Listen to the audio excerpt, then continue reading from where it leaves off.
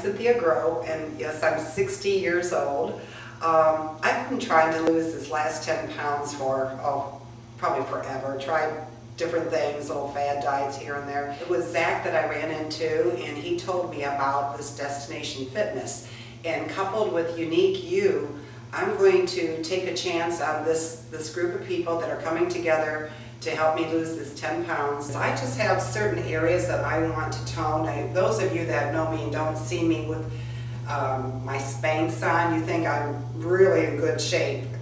Still the Spanx come off, but there's some areas, spot areas that I would like to do.